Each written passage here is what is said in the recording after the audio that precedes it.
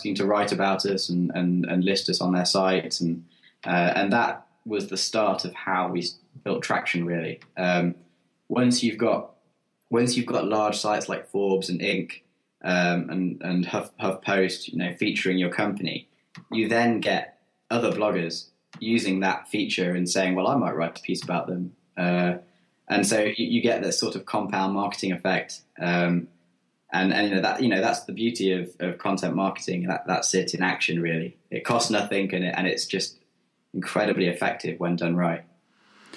And everything has to be in place. So you're right to to state there the power of content marketing. And in your sense, you went viral in your own way because you you put the product out there to people who would give you feedback, who are mm. interested in adopting things at an early stage. Uh, but then the product, you know, Quuu had to be right as well. It had to be something that excited them. Yeah. And so everything's come together and it happened, Matt, which is great.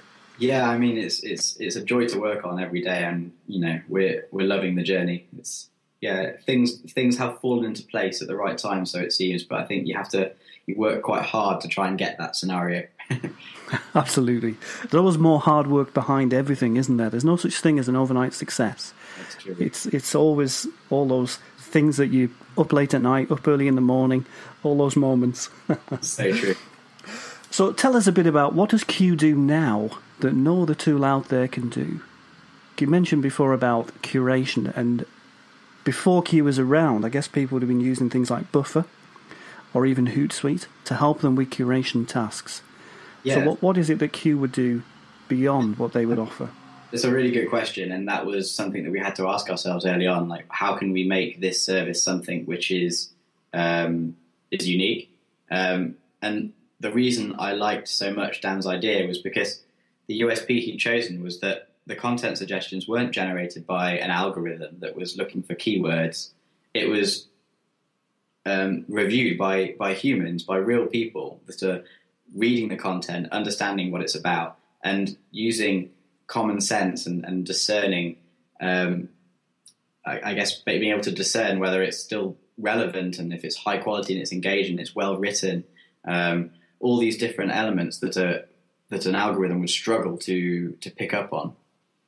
So, I guess the fact that the content is so reliable is is Quuu's USP, its unique selling point. The fact that um, we hand pick everything and hand review everything, whether that's content coming from our trusted curators or content being submitted by the public, we have to read each and every piece and apply our own quality criteria to see if it you know matches up and and is, this is something that's safe to be shared by all our users. So I, I guess you know it provides that level of, of, of um, security. If you're if you're concerned about what you're sharing, you don't have to worry about if it's on, on point or not because we've already done that sort of that due diligence for you. And that Matt was my favourite thing. So when I discovered your app, that was absolutely the key thing that stood out for me as well. Cool. Uh, and it's worked out. I have to say that. I think your team, whoever they are, wherever they are, do a great job of curating that content. Thank you. I mean, one of the things as well is that we understand we can't please everyone all the time. Not every piece of content we send is going to be perfect for everybody. Uh, you know, we try to we, we apply rules in a way which hopefully mean the content will be appropriate for the, as, as wide um, demographic of people as possible. But they are literally content suggestions. We're not forcing this content upon anyone. It's just sort of these are suggestions to help save you time and, and hopefully fill your timeline with stuff that your followers will engage with. Yeah. Yeah, and that's what you put in your email, isn't it? That comes in every day. You Your great news, here's your content suggestions for the day. Yeah, exactly, yeah. So, Mark, tell us a bit about what you've done to promote Quuu outside of those initial technology target audiences. So, you began on BetaList and went through Product Hunt. I discovered you on AppSumo. How did you go beyond that? Well, in in all honesty, I think that it's just been the timing. Um, we we obviously had uh, two AppSumo listings, two product hunt features, um, and we've we've really um, planned our sort of content marketing schedule in terms of uh, big fe- bigger features for larger publications and, and sites around that. to try and keep that momentum going. Uh, one of the main things for us is that we actually use Quuu for our own marketing. So we try to make our blog um, value adding and interesting rather than being too self promotional. Uh, everything that we, we try and put out there is supposed to be providing social media advice, content marketing advice, startup advice, uh, anything that could be relevant to our users. So, as long as we can um, apply um, our own blog content to our, quite, our um, quality criteria, we can add our own content to Quuu to be shared by our users. So, um, we're using our own company to, company to market ourselves, really, uh, which obviously costs nothing, um, which means our marketing budget is very low. Um, and and and genuinely, we, you know we've experimented with a few different forms of advertising, paid advertising, and we had nowhere near the same results as as we have using Quuu. And so uh, we're at present, although we plan to keep experimenting with other ways of growing, we're, we're only using our own tool to market ourselves right now, uh, and and and a few pieces of promo. So. Um, I guess it's probably not the most interesting answer, but um, we we've used Quuu um, is, is is my answer um, to help us grow. I think it's an answer of the proof is in the pudding.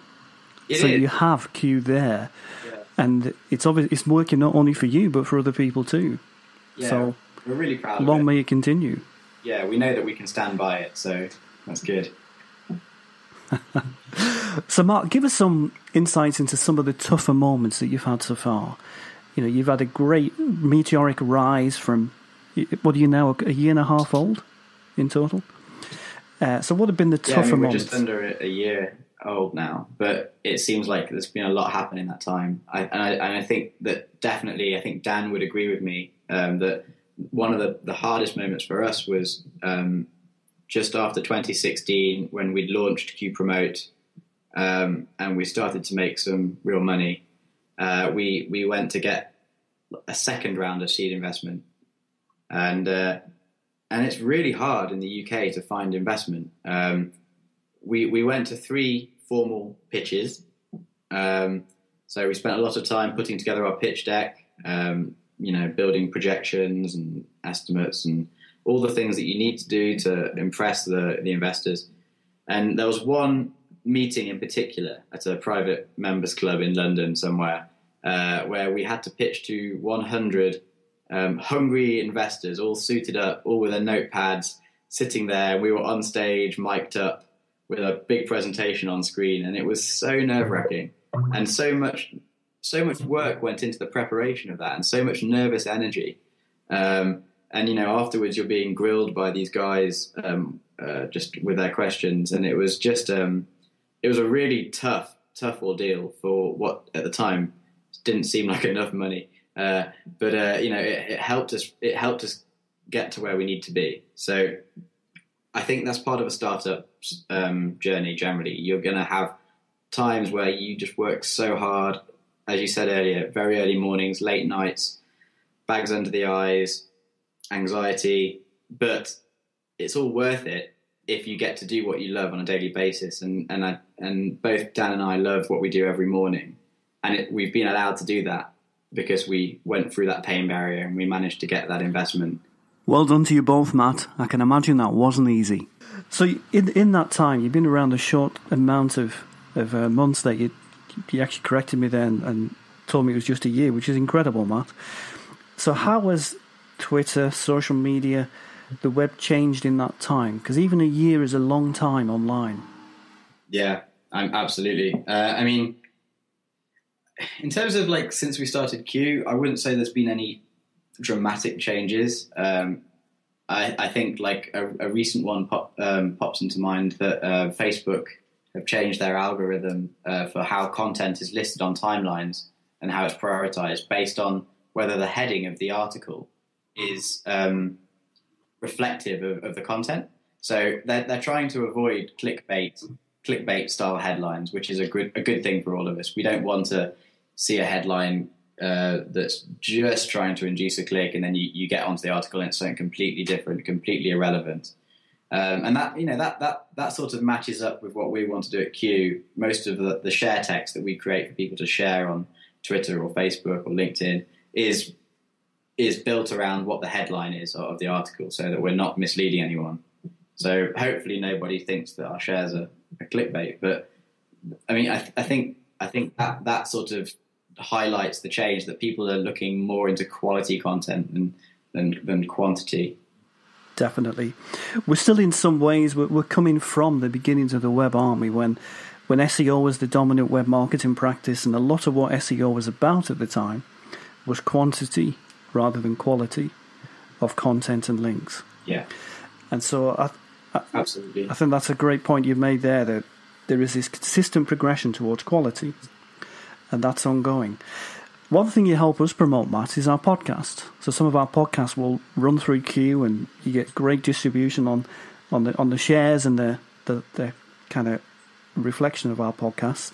Have you seen an increase in video and audio content coming through your network? We have, yeah. We, I mean, we definitely have. I, I, don't know if that's just because uh, more and more people are turning to that because it's providing a refreshing solution to to content marketing, or if it's just because our user numbers have increased. It could be both. But um, it's it's an interesting one for us actually because we hand review everything, and we get a lot of quite lengthy media content um, submitted. It's it raises a question for us as to how sustainable it is for us to to curate it, um, because it you know we we can't fairly we can't um, responsibly say that we've approved something if we haven't checked it all. So does that mean if we get an hour long podcast submitted that our reviewer has to listen to the entire thing? It's an interesting question. Um, you know, we're completely transparent about our process and, and, what we're trying to do. We're learning every day uh, about how we can make it as good as possible. So, right now, I think we're, we're trying to refine our rules around um, uh, what we allow to be submitted in terms of podcasts and videos um, so that they're not too long. Um, but we appreciate at the same time that's not really a fair parameter. So um, it may be that in the future we have approved podcasters or approved vloggers or whatever it may be, and and they they're they're a sort of curator, I, I guess, who can submit submit content more freely. But um, I guess that's something that we'll look at in the future. It's definitely a popular popular medium. Absolutely, and I think probably will only grow. You know, Facebook Live and tools of that kind, which which are really about live broadcasting, um, that becomes a whole other thought for you. So, what will you develop next in the business? Ah, that's a good question. There's a few things that I can't talk about, but um, but I mean, we we we've we've just released the new Quuu Promote app, which is uh, far more sophisticated than our initial um, way of doing things through just Typeforms. That was a that was a, a a fun development. But our next our next step is to enhance the the Quuu app the, for people using content suggestions. So they've given us a lot of feedback, and it's well overdue that we make these improvements to it. Uh, just uh, tweaks that allow people a bit more flexibility. Uh, probably be able to check their the metrics of their shares more, so they can see what's been most uh, effective. Uh, things like being able to assign cat, um, content suggestions from a certain interest category to a specific social profile. You know, it seems like a simple thing, but right now Quuu will send it to all of your profiles. So we're, we're going to make tweaks like this just to um, just to improve that based on the feedback that we've had so far. Um, so I think you'll, you'll, definitely see changes to that in the near future. But there's a lot there's a lot more up our sleeve. so some of the the secrets we have to wait for, but we can expect more more choice, I guess, on yeah. the ability to we, channel we our content. Yeah, that's there yeah. we go. that's what we'll do. We'll catch up at that point. so, Matt, for everyone that's listening, it's been a fascinating chat so far. A lot of great insight into the life of a startup. Where can everybody find you online? Find me or find Quuu, or both of us? give both. Why not um, give both? well, I mean, for, to find Quuu, you, obviously you can Google it, Q U U U. Um, but we're on Quuu.co and uh, QuuuPromote.co. So if you're a, if you want, if you're interested in content suggestions, then head over to Quuu.co. And if you're a content creator and you want more people to share your stuff, then go to QuuuPromote.co. uh, but both both sites link to each other, so you'll you'll